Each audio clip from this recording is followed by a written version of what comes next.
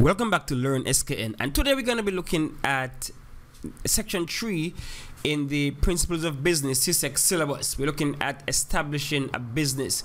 So we're going to just run through some of the specific, specific objectives and we are going to explain as we go along.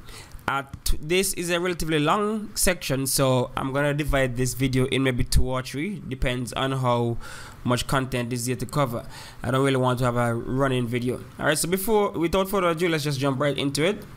And the first specific objective asks you to define the term entrepreneur. Define the term entrepreneur. The concept of entrepreneurship. So an entrepreneur is someone who takes the financial risk to start their own business. That's basically simply the simple answer. Someone who starts their own business, someone who takes the financial risk to start their own business. Here in the textbook we have Enterprise is the ability to organize and manage the production of goods and services. And so it is important factor of production. People who have enterprise and use their skills to organize production are entrepreneurs. Those who organize uh, production, you know, the factors of production, land, labor, capital, entrepreneurship. So the persons who have the skills, they are called entrepreneurs and so they are the ones who take the risk to start their own business. They are the people who take the risk and decisions necessary to make business run successfully. So, in a nutshell, an entrepreneur is a person who takes the financial risk to start their own business. So, that is it for that one. Objective two explain the functions of an entrepreneur. Now, this one kind of ties into objective number four, where you describe the roles of the entrepreneur. So, we'll just uh, browse through this one for now and then go more in depth later on. So explain the functions of an entrepreneur, conceptualizing, planning, accessing funds, organizing, operating and evaluating the performance of a business. So one of the main thing is operating and evaluating the performance of a business. Of course, if you're an entrepreneur, by definition, you should be the one who have, would have started the business, you own and operate a business. So of course, you have to evaluate and monitor what goes on in your business. And so, like I said, we're going to go deeper in it at this juncture. Objective 4. Objective 3 identify the characteristics of the typical entrepreneur. Uh, so, before we move on to these, we are going to jump ahead to Objective 6 where we outline why you might want to start your own business, why you might want to become an entrepreneur. So let's deal with that first. Alright, so based on the textbook here again, uh, let's go to the slides. So the slides, entrepreneur right there. Anyone who starts a business is an entrepreneur. Many people would like to be an entrepreneur. Some companies can be considered as entrepreneurial. So this is are reasons why you might want to start your own business. One, financial independence. Two, increase income. Three, increase control of work life. Four, self-fulfillment and self-actualization. Those are reasons why you might want to start your own business. So why do people want to start a business? And the first one we have here is the desire for financial independence. What does this mean? This is simply telling us that you as a person, you want to be able to determine basically your finances, your income. So when you start your own business, you can manfully sit down and calculate how much money you might want to make. You are the one who's basically in charge of that instead of having to sit down and wait for a salary or a wage. You are the one who go out and get what you want. You want if, if, if you want to increase your pay, your salary, then you might up your production level, but all that is up to you. Nobody telling you, okay, you have to work eight hours a day and to get your monies. You are the one who determines, okay, today I'm going to work six hours because I'm going to make X amount of dollars. Maybe tomorrow I might work maybe 10, 12 hours to try to make, meet deadlines to make a certain amount of money.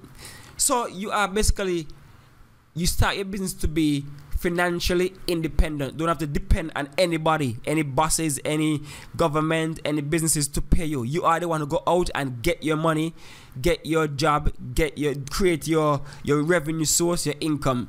So that's the first one financial independence. The next one you have here is self-fulfillment. This one is a kind of innate thing, uh, you know, inside thing. So running and owning, running and owning a business can be more satisfying and enjoyable than working in a job that is dull and repetitive. rather than being told what to do each day by employers, you can make your own decisions to realize your ambitions. So self fulfillment is from within, it's intrinsic. So you feel fulfilled, you feel satisfied, you, you, you get excited at the idea of running your own business, you know? You're solving the puzzle. How do I figure out this? How do I do this? How do I make more money? How do I beat my competitors? So you get fulfilled by running your own business. And in a similar vein, you have self actualization. That's running a business that allows you to fulfill your potential and make the best use of your skills, interests, abilities, and ideas. So you want to reach your max potential. You know, sometimes you're working for somebody and you're just there bored, doing the same thing every day, and you be like, ah, this ain't even challenging my brain at all. I need more, more challenge. And so you're not fulfilled, you know, you, you haven't realized your full potential. But then you go and you start your own business just to realize, okay, this is a challenge I'm willing to take. I want to see my skill that I went to university to gather and all the knowledge I've learned over the years. I want to put them to the test and to maximize my potential, maximize my abilities, maximize my skills. So when you do that, you feel more alive, you feel more realized, you feel like you have accomplished something. So that's what we call more self-actualization. And when you look at Maslow's hierarchy of needs, you have self-actualization right there to the top of the, that hierarchy of needs. Then you have to of course to increase their income. Sometimes you're making you're working for somebody and they pay just lousy, miserable, you know, minimum wage, you're not getting making ends meet. So you know you say, you know what, I'm gonna start my own business because I, I guarantee I could make more money doing my own thing than to wait here and wait and this nuts change. Even still, if you, even if you're working for somebody, you might have a, a side hustle. You know, you you you run a YouTube channel, you you know, you do some affiliate marketing, you do a part-time job, you do a little farming on the side, something, you have a side hustle. So even that is another way of increasing your income. That's entrepreneurship, being entrepreneurial. So you want to increase your income because the reality is you cannot really get rich, rich from working for somebody. You have to take your brand and you develop your brand. Even you see sports stars making all the money. A lot of the money comes from taking their own name, turning it into a brand and making a business out of that. So to increase your income is the next reason why you might want to start your own business. Then you have to increase control of their work life. To increase control of their work life. So you might want to start the business because you know the, the, the, eight to five just ain't your thing. That just ain't your grind. Or if you're working, you know, the graveyard shift, you ain't got no time for that. So let's read what they say here. Unlike most employees, as a business owner, you can choose when you work, where you work, and how hard you work. So that's the whole thing right there. You can control your work life. Today, I feel like working, you don't go. Nobody gonna fire you because you're your own boss. You know, you wanna put in 40 hours, 80 hours, whatever you want to do, that's your thing. You're your own boss. You ain't want to work from home, you know, do a little, you know, telecommuting, that's your choice you're the boss. So you're in control of your work life. Nobody telling you what to do. Nobody telling you go for lunch 12, 1 o'clock. No, if you feel like going lunch 3, you do that. You feel like going lunch, you go, for brunch, 11 o'clock, you do that. Nobody there to tell you what to do. So those are some of the major reasons why you might want to start your own business. Again, what are they? You desire financial independence, self-fulfillment, self-actualization, increase your income, increase control of your work life. So those are some key reasons why you want to start your own business. All right. So some side some things to note here. Even in your work control, you you're controlling your work life. Many small business owners have, you know, if you look at the types of businesses out there, you know, you have your partnership, you have your sole trader, those kind of things, and you will realize that one of the downsides to being a sole trader is that you can't really just up and take hours away from your business. You can't just go vacation and come back when you feel like. Because for every time you're not in a business, you're losing money.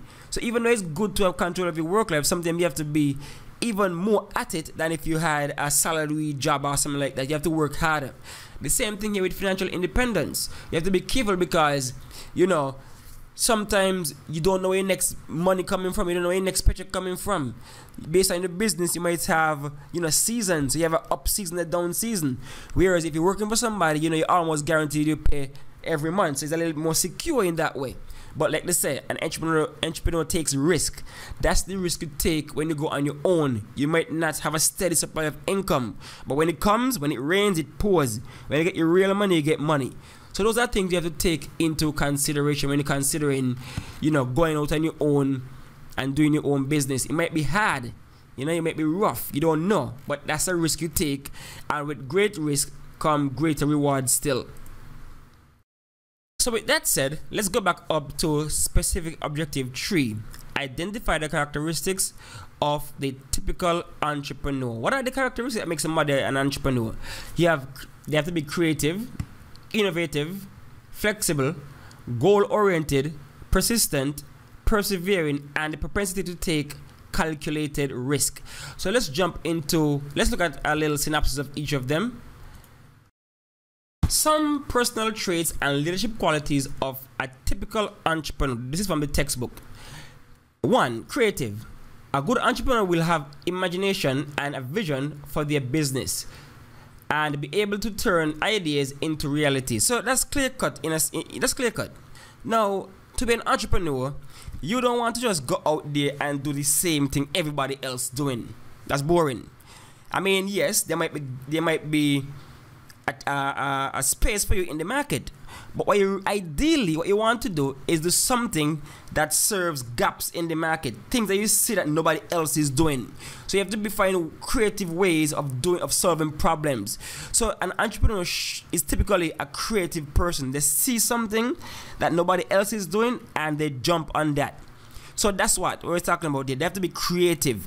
Or even even even if you're doing something everybody else doing, you're doing it in a more creative manner that would bring people more to your side of the business. So you know, for example, you you know they always say Apple does things that everybody else is doing because Apple don't invent much. Huh? Apple just takes what's out there and put a nice creative spin on things. You know, they had the iPad, the tablets were there before. Apple took the iPad and just turned it into something that people like. You know, most phones had their, their what I call it, their headphone jacks. Apple said no. Listen to music. Let's do it another way. So you have the the, the, the AirPods.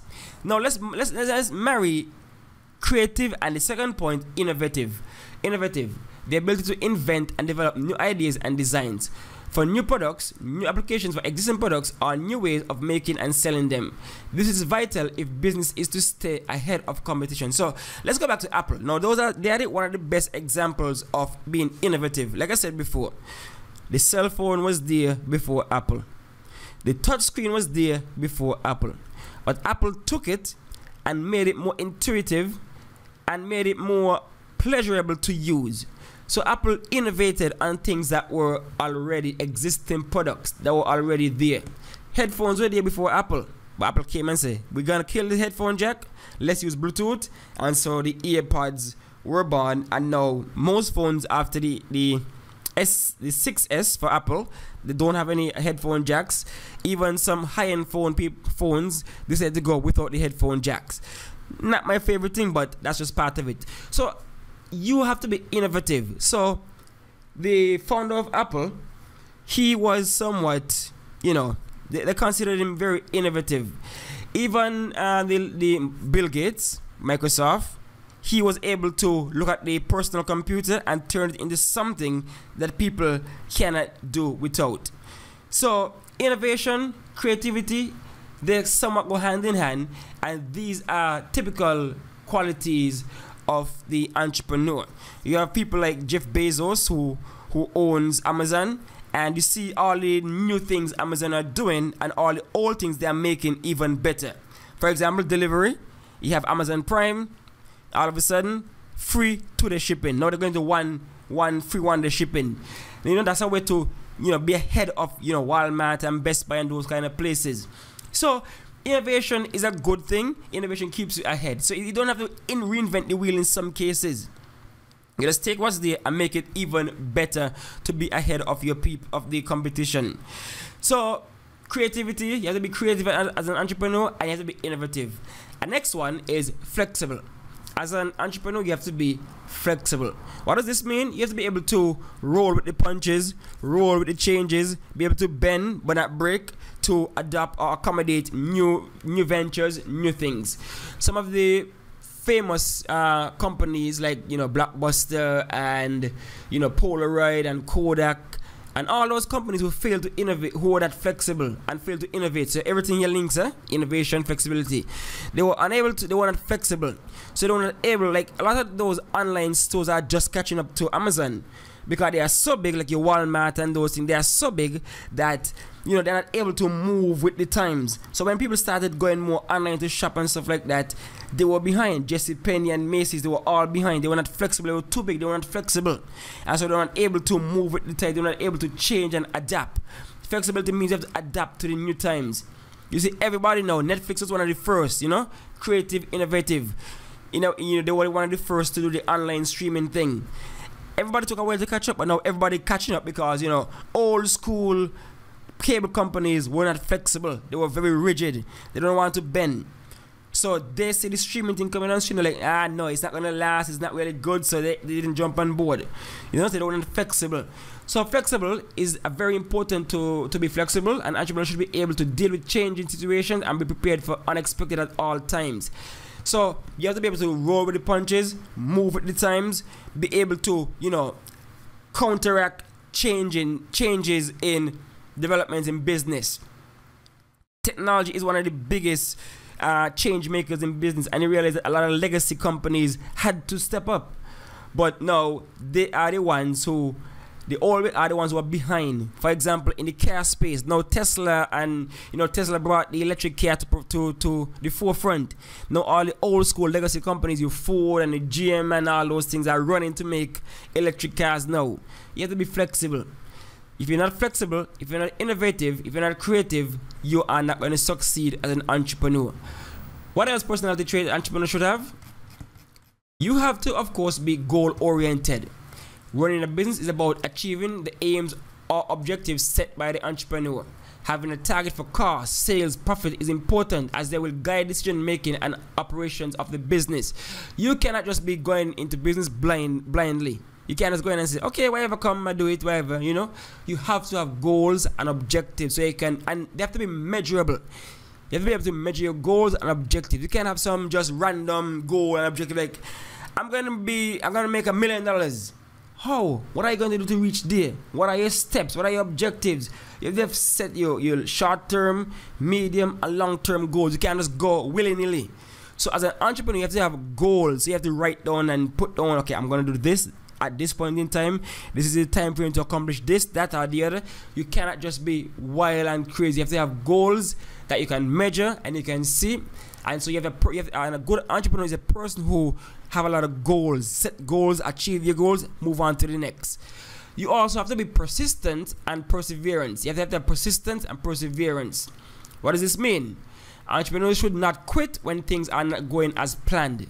The determination to keep pushing to meet targets for your business is very important for success, even if that success is delayed due to unforeseen challenges. Now, the world of business is not easy. It's tough out there.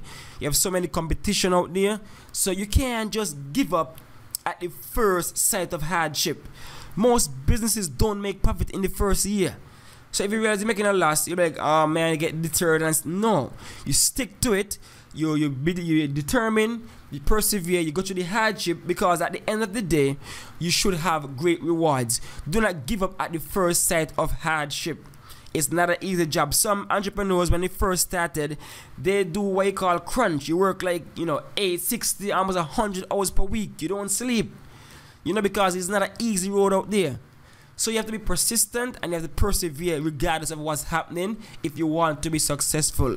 If you look at the backstory for a lot of these entrepreneurs, they came from nothing. A lot of them came from nothing and they made their way to the top. They started from the bottom, now they're on top. And they went through a lot of a lot of hurdles. So you have to be persistent and you have to be perse- you have to persevere. And then the last one, the most crucial one, is willingness or propensity to take calculated risk. Like we said, the definition of entrepreneurship is somebody who willing to take the risk to start their own business. You have to be able to take risk. Not all of us out there are risk takers. Some of us are coward and we want to we prefer to stay in the, the, the box of the norm we are cowards and we want to stay in the norm in the box you have to be, you have to be assured but most entrepreneurs, no, no, let's not get this thing twisted about risk, eh? We are not talking about foolish risk. You see what I say here? Calculated risk. So you have to weigh and measure the risk you're about to take. You're not gonna just quit the job without a plan. Now that's foolish. You have to have an idea of what you're gonna do next. You can't just up and start the business and you know not seeing doing the market research and stuff like that. That's foolishness. You have to do your market research, make sure that there's a demand for your product, that kind of stuff. So you have to take a calculated risk. Like I said, some of us are risk averse. We are not willing to take risk, and you can see it in your daily life. Some people just want to grow up and work for somebody. They don't want to take the risk of make, of maybe might not get paid this month because the business is not really blooming, that kind of stuff. So a key trait is that the entrepreneur should be able and willing to take risk. So that's it for the uh, the traits of an entrepreneur. So that's objective three. So let's move on to objective four. Describe the role of the entrepreneur in the decision making process. The importance of entrepreneurial organization skills. Now, these are the roles of the entrepreneur. Example conceptualizing, planning, accessing finance, organizing the factors of production, operating the business, evaluating, and risk bearing. These are the roles of the entrepreneur. Do not confuse roles and characteristics. Do not, I've seen this on exams. People confuse. You ask for name, give me one role of the entrepreneur, and people give you goal oriented. You know, no, that's a that's a characteristic. That's not a, that's not a, a a role. Right? So don't get them mixed up. So let's look at the roles of the entrepreneur. So the textbook have them here nicely laid out. The roles are the functions. The roles and functions are the same thing. So if you say function, we're talking about the role. And the first one is conceptualizing. Now that's in your brain. You're thinking of an idea. You have a vision, an idea of what you want the business to be. So you have to, that's all in your head. So that's when you're developing your ideas. So you have to go and say, hmm, what can I do out there that's not being done before? What is a good idea for making a business? What do I do? What can I do? What can I offer? What is new? What is innovative that I can offer that is not being done before? So you have an idea. So conceptualizing is bringing up a concept. That's the root word, the concept right there. So you have to bring an idea. So what the book says, developing a business idea or vision and turning it into a working business able to generate sales and profit. Understanding how the business will deliver what consumers need or want and which consumers would benefit.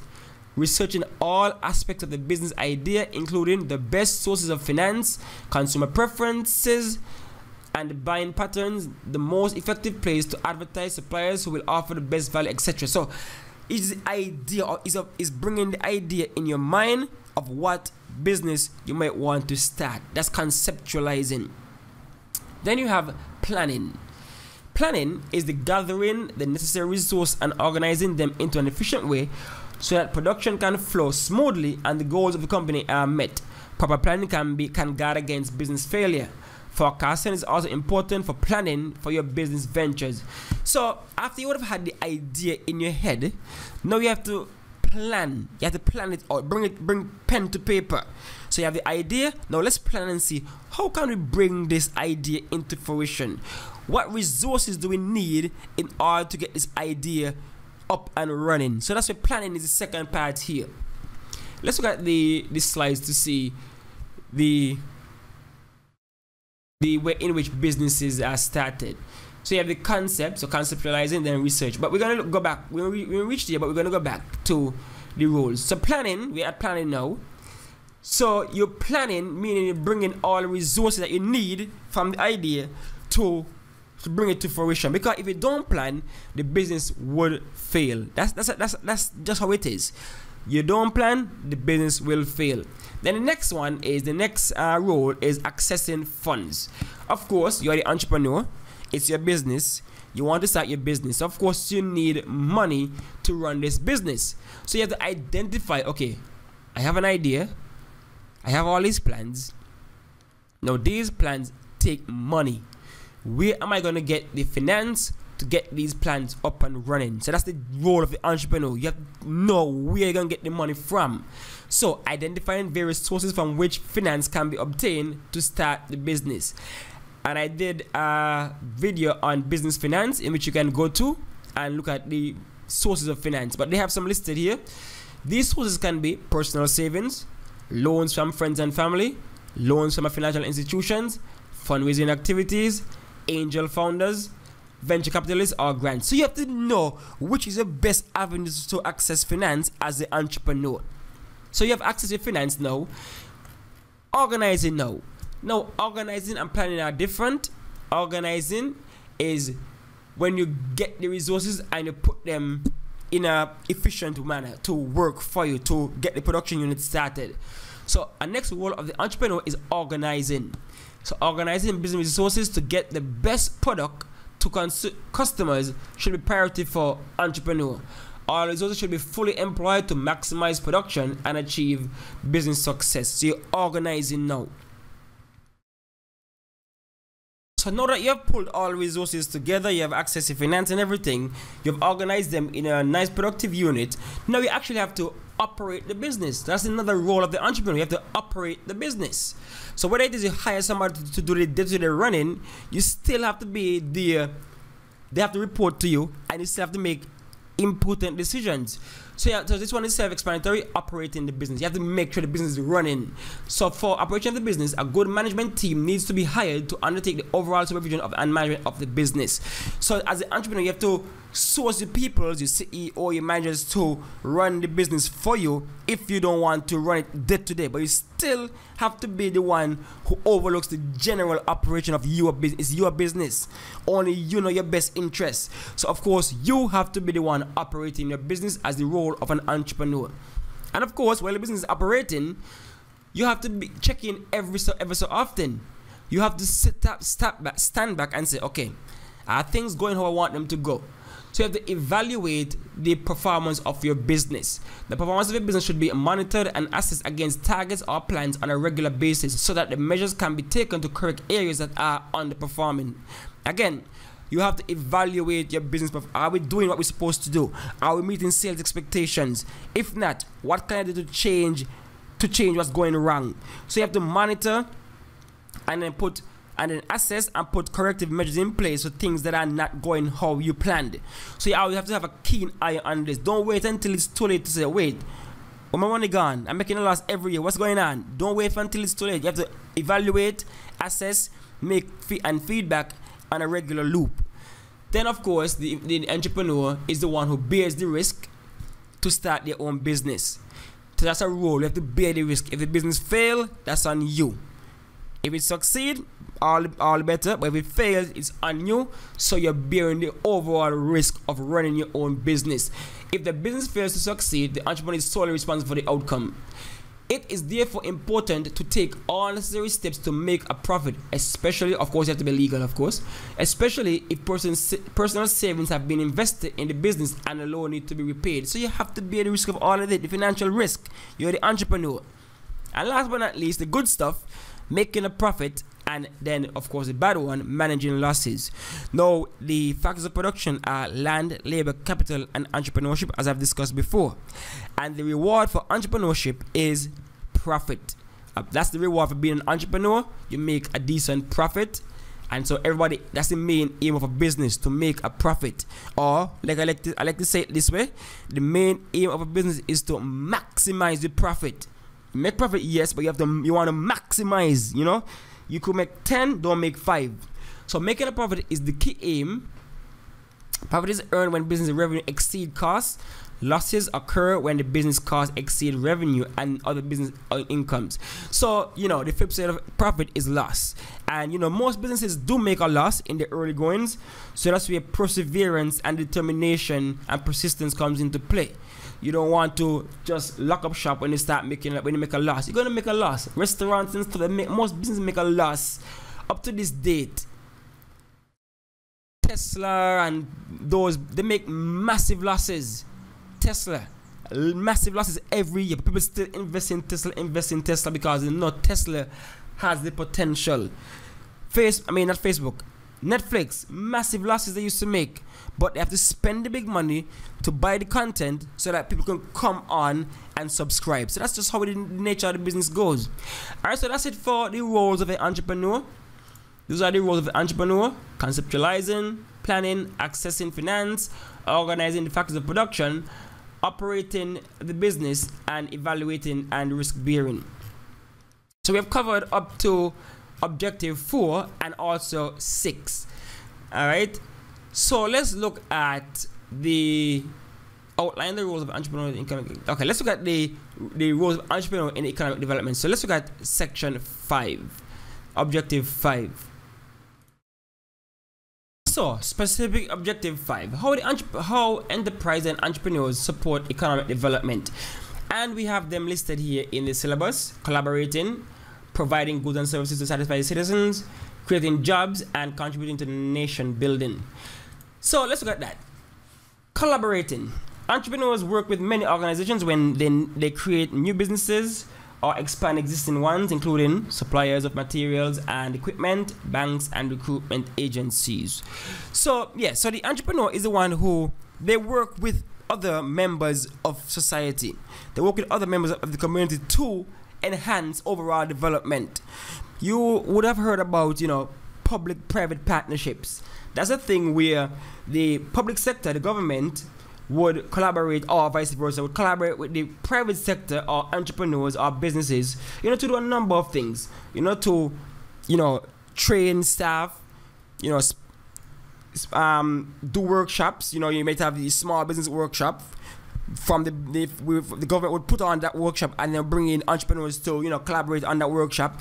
Things like that. So collaborating working together with other stakeholders in community in society to better enhance the economy to develop the country. So entrepreneurs may so with many organizations when they create new business so certain business types would work along with other business types to again enhance you know you have your you have your linkages. We have discussed linkages before where one business let's say a, a farmer primary primary they would collaborate with secondary you know uh you know a, a agro processor somebody who makes certain items like um, tomato that kind of stuff they would work together collaborate to you know help enhance the overall product so collaborating means that members of the private sector collaborating with one another or collaborating with members of the public sector so that's a way in which you can help to develop the overall economy of a given country. So that's collaborating, working together. Then you have risk bearing. So as we discussed this already, the entrepreneurs are risk takers. They invest their time, energy, and uh, often their money in a business with the aim of creating wealth. They risk that they can fail and lose considerable amount of money, which is true. So how do that help the economy? Because they are the ones who actually take the risk and start these new businesses. They are the ones. Something the government would not venture in certain areas because they know it is not viable, it is not economical for the government to do it. So now, thank goodness for the entrepreneurs to come in and take the risk to start certain businesses. You know, in certain economic systems where you don't have any private sectors, you realize that your choices, your options are severely limited. Like North Korea, Cuba, those places, severely limited. Like how much, who, which government would have taken the risk to bring in a KFC or Subway or Domino's, you know? No, that's a private thing. They take the risk to do that.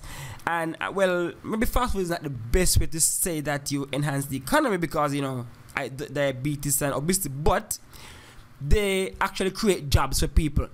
All right, so they the one to take the risk. So risk being to take the risk to start these businesses that have an overall sensation of enhancing the economy, developing the country. Some maybe not. You know, there's some detrimental business out there. You know, you know, you know, alcohol and you know, tobacco and liquor and stuff like that. They, they, those businesses are not really, you know, but still, jobs are created. Then you have the obvious one. Two obvious ones are the last ones. The two obvious ones providing goods and services to satisfy citizens, and creating jobs. Of course, they help the economy by providing goods and services. That that's self-explanatory. The entrepreneurs are the ones who risk, take the risk to start companies, and these companies in turn provide goods and services to satisfy citizens. Because most of the things that we consume today are products of the private sector you know, you go to a, a supermarket, you go to a, a clothing store, you go to the bank, you go to anywhere, you have your barber, that kind of services. So they are the ones who create these things. They are not done by the government. Thank goodness. Imagine if the government was running a barber shop, you know, everybody got the same haircut or something like that. No, thank goodness we don't have that. So they are the ones. Imagine the government was the only one to provide food and stuff. You eat egg every day, you eat rice every day. You don't have the option of you know indulging in some nice treats and stuff like that because government. So we the, the, the good thing is that the entrepreneurs, the private individuals, are the ones who provide certain goods and services that satisfy the citizens. You say this every day. You go down the road, you you partake in them every day. You go to a restaurant, you go to the bank, you go to the movies. You know, so these are obvious obvious ways in which the entrepreneurs help the development of a country. They provide goods and services. They also provide competition among themselves, which helps us because they are going to bring down prices for look at Lime and you know Flow and Digicel. Thank goodness for competition, or else we would have been you know mired with a, a, a monopoly and they just gouging our eyes out every day. Thank goodness for competition. All right, creating jobs.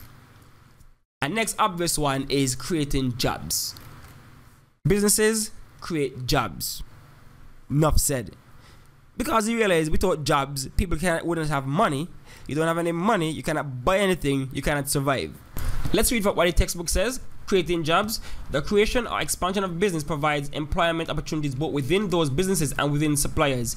These jobs reduce unemployment and provide incomes for employees that can improve their standard of living, boost their financial stability.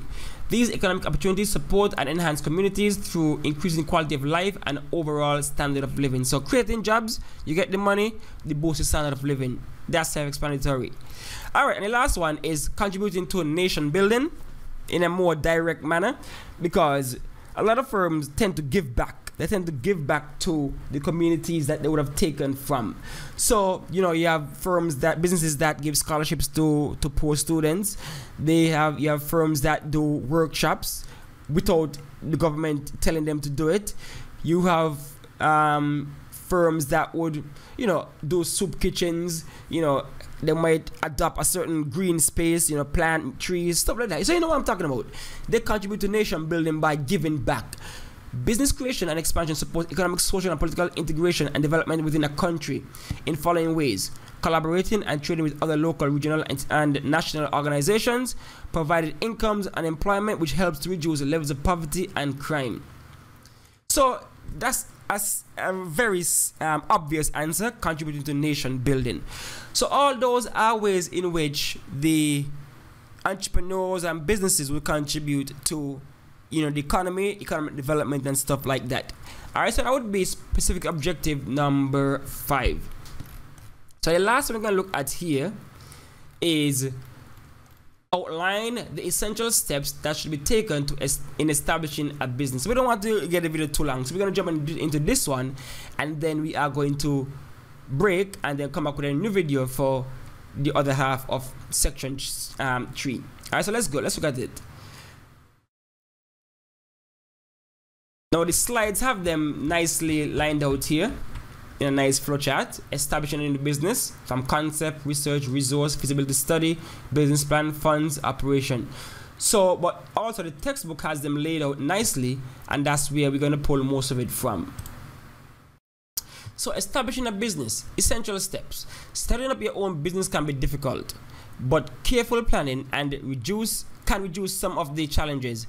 Before you start the business, the following steps should be taken. The first one we looked at before conceptualization. We looked at conceptualizing before.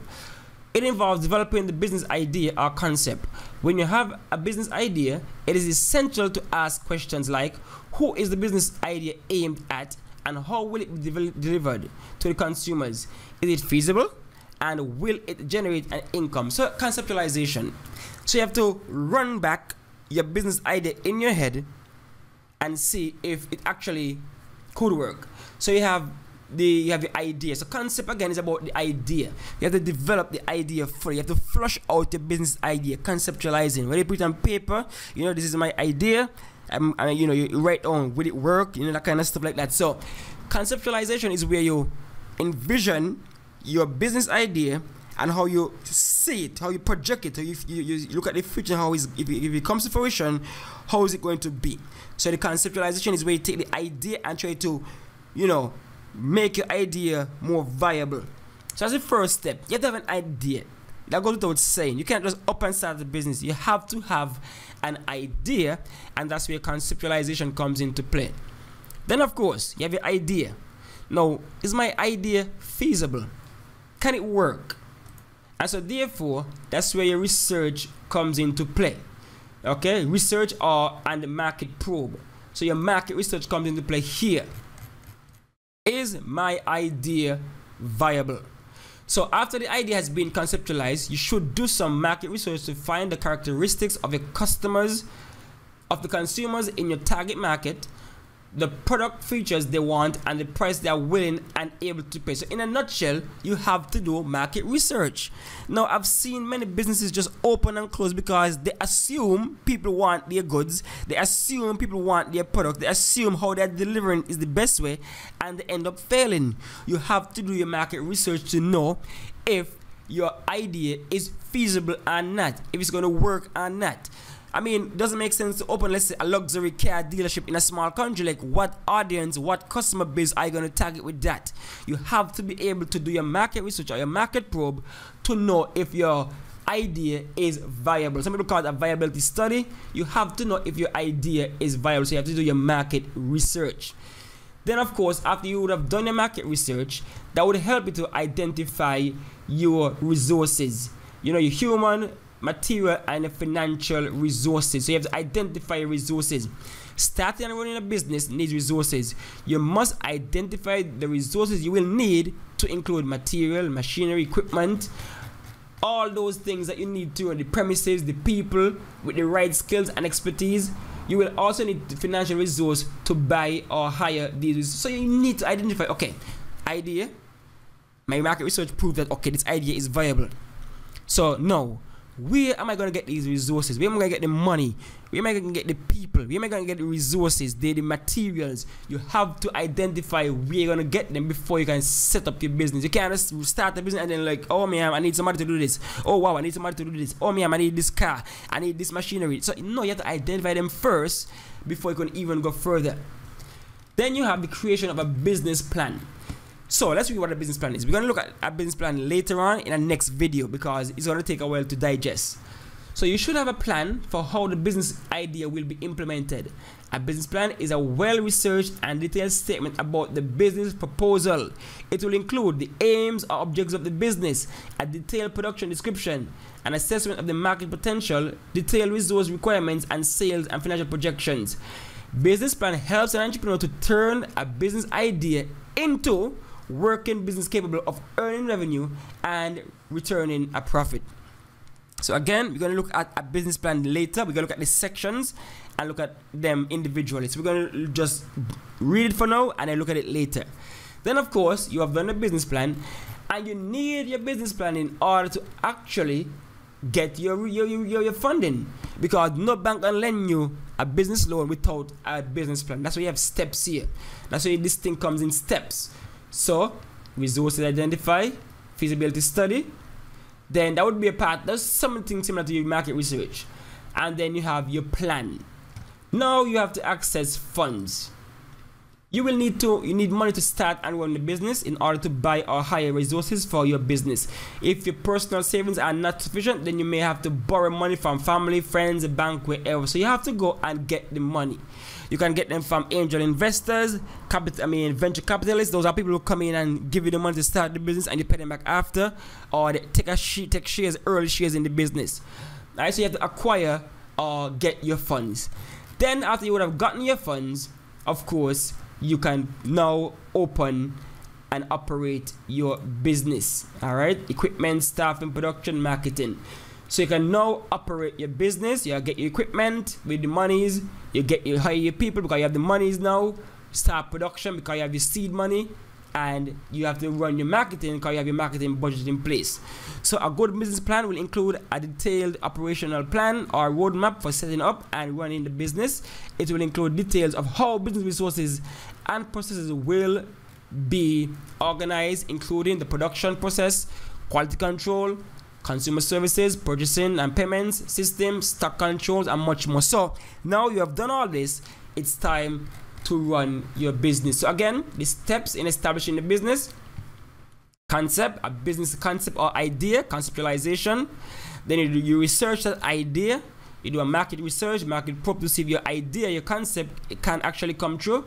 You identify the resources that your idea would need to get off the ground, you know, the human resource, material, financial.